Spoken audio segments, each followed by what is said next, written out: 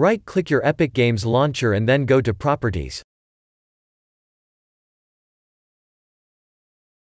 Locate the target section. At the end of this line press space and then type "-http equals wininet. Now go to the Compatibility tab. Select Run Program in compatibility mode.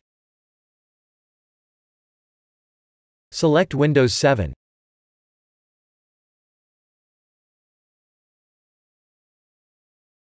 Select Run this program as administrator.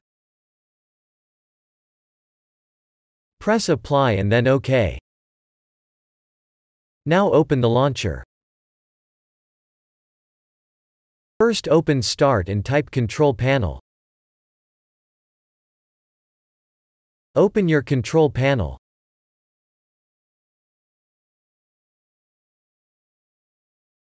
Open Network and Internet. Open Network and Sharing Center. Open Change Adapter Settings. Right-click your network adapter and select Properties.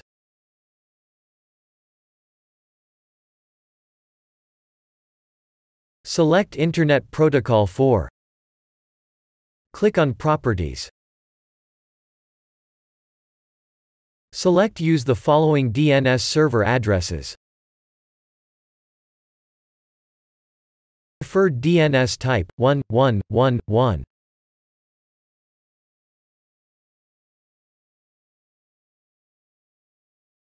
In alternate DNS type 1001. Press OK. Close the window and your problem should be fixed. First open Start and type CMD. Right-click Command Prompt and select Run as administrator.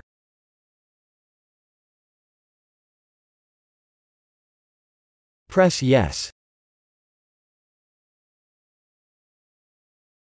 Type the following command then press Enter.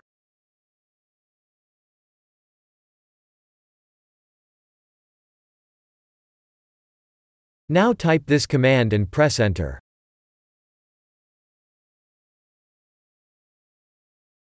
Now type this command and press Enter.